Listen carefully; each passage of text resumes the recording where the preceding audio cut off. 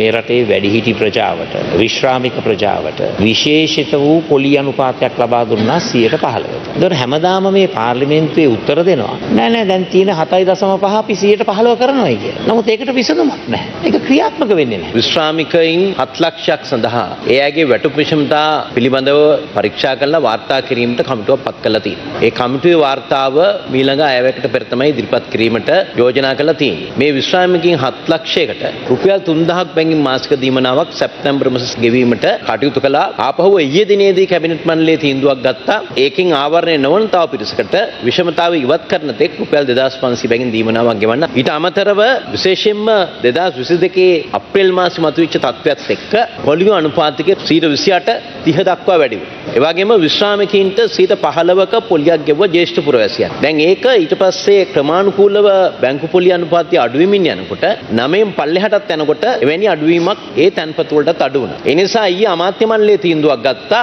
ඒ ජ්‍යෙෂ්ඨ පුරවැසියන්ට දෙන 15ට 2.5කින් පොලිය වැඩි කරන්න ඒක ඊයේ තීන්දුව ගත්තා. 115 කියන්නේ දැන් තියෙන පොලියෙන් 2.5ක් වැඩි කිරීම නෙවෙයි. ඔබතුමාම දන්නවනේ පොලිය අනුපාතය. අවුරුදු 8ක් බැංකුවක ප්‍රායෝගිකව කටයුතු කළ නිසා. ප්‍රධාන ශාඛාවක අවසාන ගිණුම් මම හදපු නිසා. අක්වැරල ගිණුම් ටික මම ආරම්භ කරපු නිසා 83 දී මේ පොලිය දරන්න ඕනේ භාණ්ඩාගාරේ. ජ්‍යෙෂ්ඨ පුරවැසියන්ට දෙන්න ඕනේ. ඒ භාණ්ඩාගාරයේ මුදල දෙන්නේ මේ රටේ සමස්ත ජනතාව එකතු කරන මුදලින්. ඒක ඉදිරි කාල සීමාව තුළ ආර්ථිකයේ පුනරුදයත් සමග ඕනෑම ආණ්ඩුවකට පුළුවන් ඒක ඊළඟ ඊළඟ අධ්‍යයනය තුළ එතෙන්ට ගෙනේ.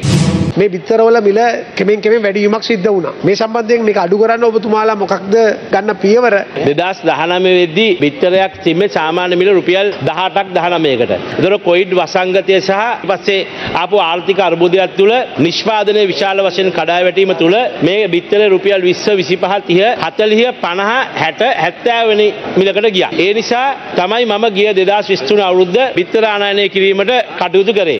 අපි දැනුමෙන් සන්නද්ධව पोसा राटा गोडनागम डीपी एजुकेशन ඒ තුළ අපිට බිත්තරයක් රුපියල් 45කට 42කට වගේ මිලකට තියාගන්න හැකියාව ලැබුණා. නමුත් පහුගිය සුමාන දෙක තුළ විශාල වශයෙන් බිත්තර මිල ඉහළ යන්න ගත්ත රුපියල් 55 60ට. ඒ නිසා තමයි මම නැවත තීන්දුව කරේ නැවත බිත්තර ආනයනය කිරීම සඳහා අපි තීන්දුව ගත්තා. ඒ තීන්දුව අරගෙන දවස් 3ක් යද්දී බිත්තර මිල රුපියල් 40ට 42කට අඩු වෙලා තියෙනවා. නමුත් මේකට ස්ථීර විසඳුමක් දෙන්න ඕන. මිලියන 3ක් පමණ බිත්තර දවසකට ප්‍රමාණය වැඩියෙන් පාවිච්චි කරන්න කටයුතු කරන නිසා ඉල්ලුම තියෙනවා. ඒ නිසා මේ අය බිත්තර මිල වැඩි කරන්න කටයුතු කරනවා. නිසා අපි නිෂ්පාදනයත් මේකම වැඩි කරගන්න කටයුතු කරන්න ඕනේ.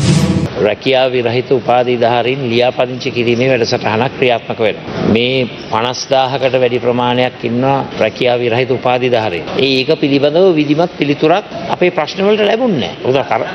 නෑ නෑ ඔතන තරහ ගන්න එපා. ඒතර වර්ගීකරණය කළා ඒ අයට පුහුණුවක් අවශ්‍ය නම් පුහුණුවකුත් ලබා දීලා රැකියාව ගත කරන්න පුළුවන්කම තියෙනවා. ඒක තමයි පටන් අරන් තියෙන්නේ. වගකීමෙන් කියන්න කැමති කිසිම පුහුණු වැඩසටහනක් ක්‍රියාත්මක කරලා නැහැ. මේ මෑතකදී සති කිහිපයකට පෙර තමයි මේ උපාධිධාරීන් ලියාපදිංචි කරන්නට කටයුතු කරලා තියෙන්නේ රැකියාව විරහිතයි. ඒතර මං අහන්න කැමති මොනවද මෙච්චර කල් ආණ්ඩුව කරේ? 50000ක් උපාධිධාරීන් මහපාරේ. රස්සා නැහැ. මොකද? අවස්ථාව ලැබුණ පුළුවන් කරන්න. මොකද කියන්නේ? අවස්ථාව ලැබුණ පුළුවන් කරන්න.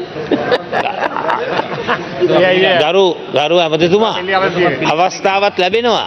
වැඩෙත් කරනවා. උපාධිධාරීන්ගේ ගැටලුව විසඳනවා. නමුත් මං අහන්නේ ඇයි මේ ඇස් බැඳුම් වැඩ කරන්නේ? සැප්තැම්බර් 21 මේ කට ළඟ තියාගෙන. ඇයි මේ රවට්ටන්නේ? කාව දන්නවන්නේ අවුරුදු දෙකක් මොකද්ද කළේ කියලා අහනවා. අවුරුදු දෙකක් තිස්සේ කරපු ඒවෙන් තමයි දැන්ට සති දෙකකට පෙර ආර්ථික එකොනොමික් ට්‍රාන්ස්ෆෝමේෂන් බිල් එක අනිත් බිල් එක පාස් කළේ. ඇත්තටම මම යෝජනා කළා මීට අවුරුදු කීපයකට පෙර. උපාධිධාරීන් අපිට පුළුවන් UGC එකේ තොරතුරු දත්තයන් ගන්න වර්ෂයකට පිට වෙන සංඛ්‍යාව උපාධිය වර්ගයන්. ඒවා සම්පූර්ණයෙන්ම සැලසුම් කිරීම සඳහා අවශ්‍ය වැඩපිළිවෙලක් අවශ්‍යයි කියන එක. වැඩපිළිවෙලක් ආරම්භ කරලා තිනවා ක්ෂණිකව කෙටි කාලයක් තුලදී දෙන්න බෑ. බොහෝ දෙනෙක් එක සසඳනකොට ඔබතුමා මම විශ්වාස කරන්නේ උගතෙක් හැටියට. හැබැයි ඔබතුමාම දැන් කියනවා ලියාපදිංචියක් අවශ්‍ය නැහැ. ඇත්තටම UGC එකෙන් තොරතුරු ටික ගන්න තිබ්බයි කියලා. ඇත්ත කතාව ඒ අවුට් වෙන ප්‍රමාණය ගන්න දන්නවා. හැබැයි ඔබතුමන්ලා හිටියා ජනාධිපතිවරණයක් කට ළඟට එනකන් අඩුම ගානේ වැඩපිළිවෙලක් පටන් ගන්න නෙවෙයි. ලියාපදිංචි කරා. ඉතින් මං කියන්නේ ඔය වගේ දේශපාලන විද්‍යා කරන්න එපයි කියන එකයි මගේ යෝජනාව. රටේ ලෝකෙ සිදුවන උණුසුම් පුවත් දැනගන්න සියත නිවස් YouTube channel එක අදම subscribe කරන්න.